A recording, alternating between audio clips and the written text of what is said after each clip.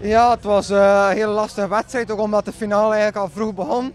Tempo lag heel de wedstrijd redelijk hoog. Het was eigenlijk nooit niet echt een uh, rustig moment in de koers. Maar voor mij hoeft dat niet per se nadelig te zijn. Uh, harde wedstrijd, waar er een grote stage is, is dikwijls nog beter voor mij.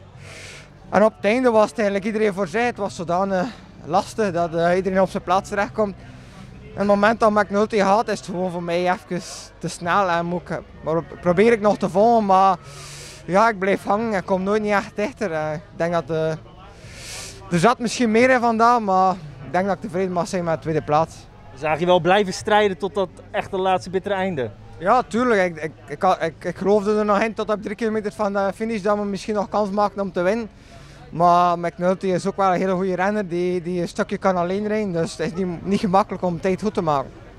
Jij hebt natuurlijk al een koers gereden. Er zijn er ook een hoop renners die pas voor het eerst weer deelnemen. Maakt het dat voor jou ook lastiger tactisch, weet, niet wetende wat de waardeverhoudingen zijn?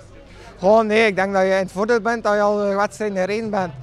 Ik denk dat het grote deel van het peloton al een paar wedstrijden in de benen heeft. En dat je echt wel die, die, die vorm nodig hebt van de wedstrijd om hier echt goed te zijn. Hoe, uh, hoe tevreden ben je met de vorm? Ja, de, uh, vorige week de route was al goed, maar dan miste ik nog net iets de, de topvorm om mee te doen voor de overwinning. En ik denk dat ik die stilletjes aan al naar toe groeien, toe groeien ben. Wat is jouw eerste grote doel? Gewoon mijn eerste grote doel. Uh, normaal staat er volgende week uh, Paris-Nice op het programma, dus dat wordt ook wel het doel op zich.